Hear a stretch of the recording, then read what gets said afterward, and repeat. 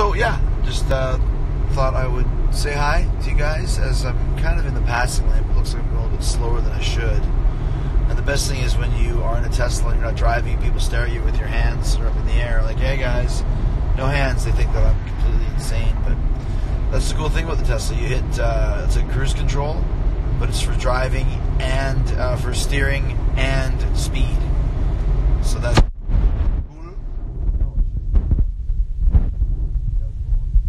Anyways, uh, tell us a good Bruno story. Well, there's a great Bruno uh, Talk is Jericho up right now. I decided to put it up after he passed away because it was one of my favorite episodes. It's the episode we did uh, in an Italian restaurant in Pittsburgh, like Billy Joel scenes from an Italian restaurant, and um, he was amazing. So you can find that on iTunes and Apple Podcasts. You know, I called it uh, In Memoriam, uh, Sammartino, What's it called? Exclusive encore presentation. That's it.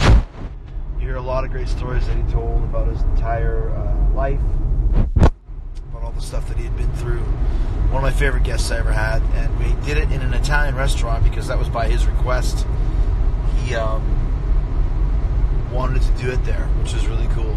And so usually when I do a Talk Is Jericho, you like having some silence, no background noise, kind of affects some of the audio. But I figured, well, it's Bruno Sammartino, it's what he wants to do, so I better, you know, live up to. Uh, you know, if I'm going to try and get him, I got to, you know, do what he asks me to.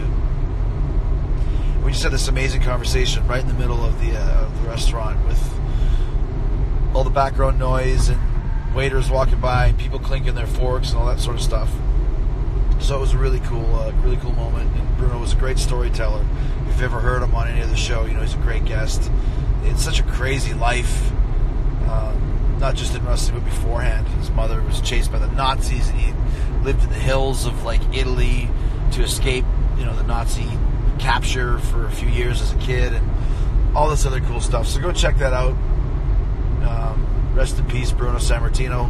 When I met him, it was December of 2016. He looked like he could still kick my ass. He was a shit brick house. So great guy and uh, very very cool. Two days with Zach Myers. Oh yeah. Uh, was it called? Codeine? Was it codeine? Is that what I'm thinking about? No, niacin? I don't remember. Nyquil? Whatever. Stop. Uh, anyways, guys. Um, hey, how are you? Hi, Meg. So we're going to uh, Fort Myers. Like I said, something's wrong with my um, Instagram here. The comments aren't flowing, so I'm having to do it myself. So if I'm missing out on your guys' comments, it's not because I'm ignoring you. It's because it's not uh, scrolling like it should. So